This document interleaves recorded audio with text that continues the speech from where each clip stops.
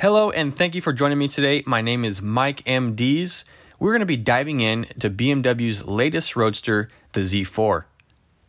In case you aren't too familiar with BMW Z4, it gets its roots from the BMW Z family, starting with the BMW Z1 produced in 1989. This car featured a really neat retractable door and window design that leaves you just scratching your head in amazement. Then in 1995, the Z3 was produced, which famously debuted in the movie Goldeneye. And in 2000, the BMW Z8 was introduced, which paid homage to the BMW 507 and featured an all aluminum body structure and suspension. This allowed it to earn its place in yet another James Bond blockbuster. In 2002, the first generation Z4 Roadster was produced and equipped with BMW's electric power steering system. The system was highly praised for its connectiveness feel to the road and reliability, paving the path for further use for future models. In 2009, the second generation Z4 was announced, featuring a retractable hardtop and astonishing the world with its over complexity a marvel requiring BMW service technicians to take a two day class for the top alone. Never mind the assortment of special tools, jigs, and software needed for adjustments. Yes, a rear fender bender could potentially total out your car. And in 2018 to present day, we now have the third generation of the Z4, which was unveiled at the Pebble Beach Concours d'Elegance charitable car event. As you might have noticed, they returned to the canvas convertible top, which retracts in half the time as the previous Z4. It also saves on weight and complexity without sacrificing cabin quietness. Now, BMW's website has some pretty nice pictures and videos to get you all revved up. It's an exhilarating car to drive and one of my personal favorites in BMW's lineup. It's my choice of the BMW bunch, next to the first generation Z4. It's fun and fast, which is what you'd expect from a car starting around 50 grand and working its way up to over 70 if you want all the goodies. And yes, you want all the goodies, which is what the Z4 M40i has to offer.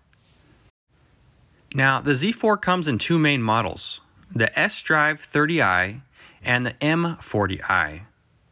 The Z4 S Drive 30i is the standard model, which is powered by a twin scroll turbocharged inline four cylinder rated at 255 horsepower, 25 miles per gallon city, and 32 miles per gallon highway, with a 5.2 0 to 60.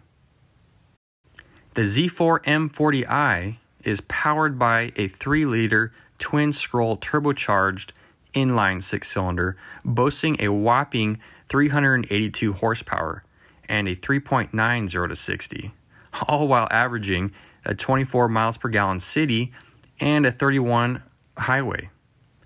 Not bad, not bad at all. The body looks completely different, and unlike the previous two generations, from the side it's hard to tell it's a Beamer, as it resembles something uh, from the Japanese market but it's probably the lack of the badging that we're accustomed to with BMW's Roadsters. Speaking of the Japanese market, BMW and Toyota have been in bed together for some time now, sharing each other's technologies and know how. BMW's drivetrain performance for Toyota's EV and hybrid tech, as BMW couldn't produce a worthy electric vehicle to save its life. Overly engineered and underperforming, Note the i3, which is out of production now. The new iVehicle lineups are anything short of amazing. Bringing us back to the Z4 and moving on to the body structure, it has been strengthened even more thanks to extra reinforcements in the way of braces and plates. The Z4 is kept light by making the outer panels out of aluminum and thermoplastics. Most of the suspension components are also aluminum.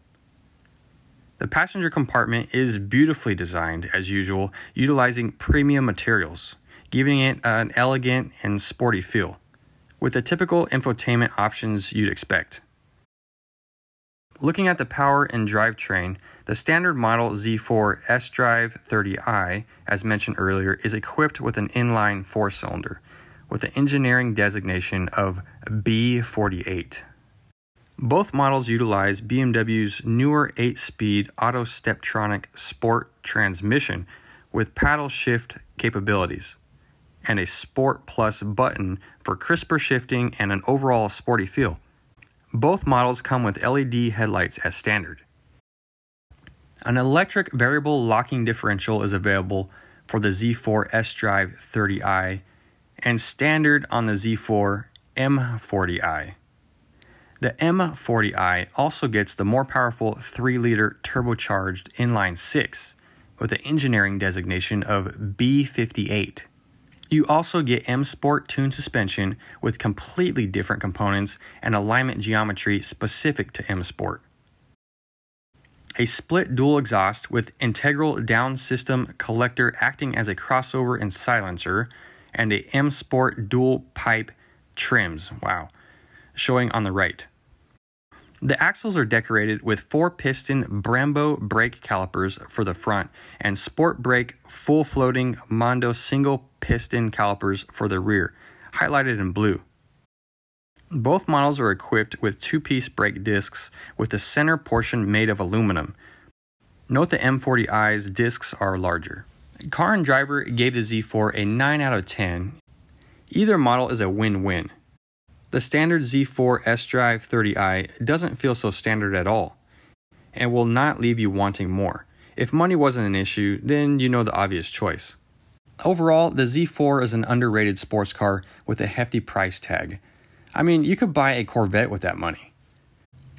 But with so many on the road and the midlife crisis stereotype that will not soon be forgotten, it's hard for me to get over. The Z4 doesn't have any of that. And on those uncommon occasions you encounter a Z4 on the road, you'll find yourself cracking a side smirk of a smile and maybe even a nod to the driver. I really hope you've enjoyed this video. I thank you for watching it, and I have more to come. I'd appreciate it if you could like, subscribe, and hit that bell icon. We'll see you in the future. Happy motoring to you.